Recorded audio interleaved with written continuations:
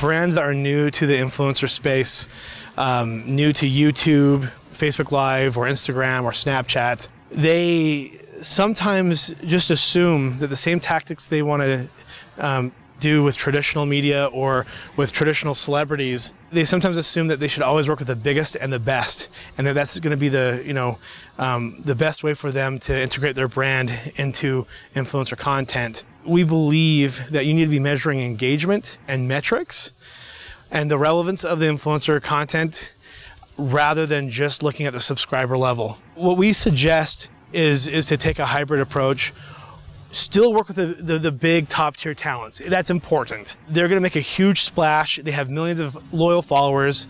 But remember, the up and comers and the micro influencers, they're sometimes more niche and in some cases get more engagement.